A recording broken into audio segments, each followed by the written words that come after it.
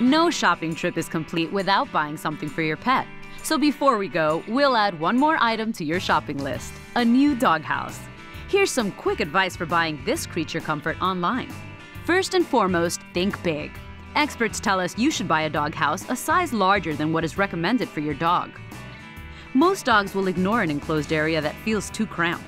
Since comfort is key, consider a doghouse with a heating and cooling unit, like these models from Therma-Sure.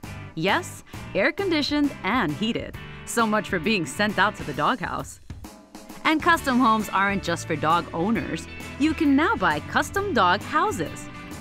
These from doghouses.com come in styles to perfectly match your pup's personality. And one tip make sure you locate the doghouse in a shady area and encourage Fido to investigate it using treats and lots of praise.